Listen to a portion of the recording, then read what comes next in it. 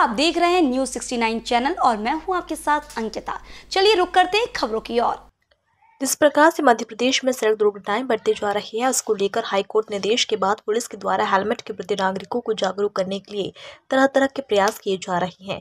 इसी कड़ी में जबलपुर में भी जबलपुर एसपी सिद्धार्थ बहुगुना और जबलपुर शहर के विभिन्न सामाजिक संगठनों के द्वारा एक कार्यक्रम के तहत जबलपुर के तीन पत्ती चौक पर जागरूक रिपीट, जरूरतमंद वाहन चालकों को हेलमेट दिए गए। जबलपुर एसपी समाज सेवी संगठनों के द्वारा दो सौ वाहन चालकों को दो सौ हेलमेट दिए गए।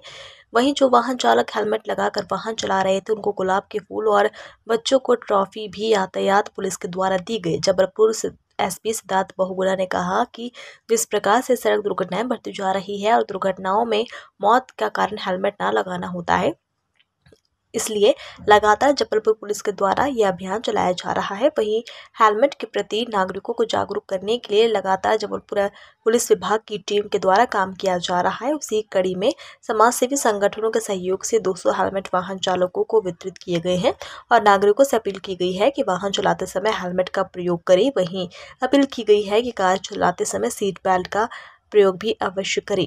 Bureau report, Jabalpur. होती है जिसमें तीन सौ तक अपराध दर्ज होता है। लेकिन उसके अपेक्षाकृत सड़क दुर्घटनाओं में 460 के करीब लोगों की जाने जाती हैं। एक जो कि करीबन छह गुना है हत्या के प्रकरणों से। तो कहीं ना कहीं ये बड़ा सोचनीय विषय है कि क्यों हम हेलमेट नहीं पहनते क्यों हम ओवर स्पीडिंग करते हैं? क्यों हम रॉन्ग साइड से जाते हैं? क्यों हम शराब पी करके गाड़ी चलाते हैं? क्या हमारी जवाबदारी सिर्फ़ हमारे लिए है? क्या हमारी समाज के लिए नहीं है जवाबदारी कि अगर हम रॉन्ग साइड से तेज चला रहे हैं तो कहीं समाज का कोई दूसरा व्यक्ति को चोट ना लग जाए? एक अच्छे नागरिक की यह पहचान है कि वो समाज के लिए एटलीस्ट अगर कुछ ना कर सके, लेकिन हानि हेलमेट, जो वितरण का जो निर्णय लिया है हमारे साथ, वो तो बहुत ही सराहनीय है।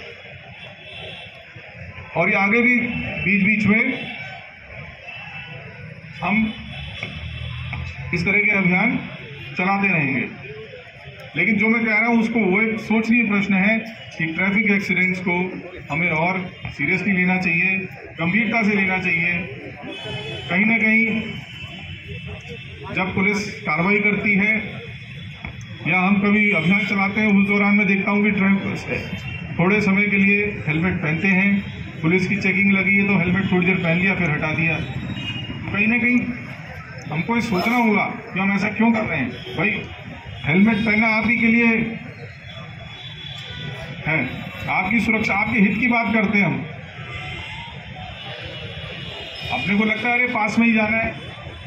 तो ऐसी ले कर लो। दूसरों के साथ जो एक्सीडेंट्स हो रहे हैं इस तरीके से हो रहे हैं। बड़े विभत्स टाइप की घटनाएँ होती हैं एक्सीडेंट्स में कभी कुछ दिवसों से हमारा ट्रैफ़िक में अभियान चल रहा था हेलमेट पहनाने को लेकर के, जिसमें कि ट्रैफ़िक पुलिस द्वारा समस्त स्कूल कॉलेजेस चौराहों पे जाकर नुक्कड़ नाटक अवेयरनेस प्रोग्राम्स एवं चालानी कार्रवाई भी जो है की गई थी।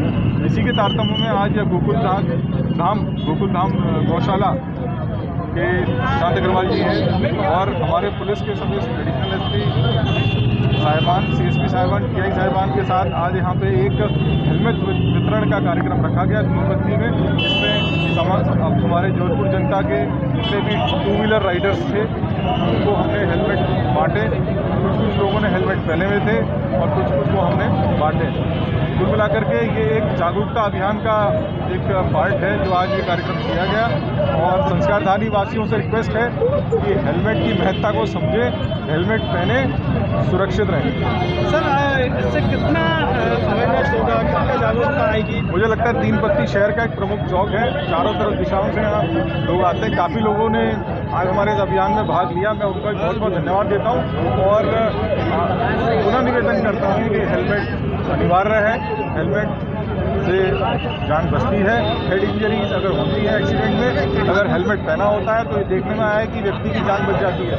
लेकिन अगर हेलमेट नहीं होता है तो काफ़ी केसेस में जो है डेथ हो जाती है। इसलिए हेलमेट अति अनिवार्य है, उसको पहनना अति अनिवार्य है। इसी तरह की और खबरें देखने के लिए बने रहे हमारे साथ। देखते रहिए न्यूज़ 69 चैनल जब तक के लिए धन्यवाद।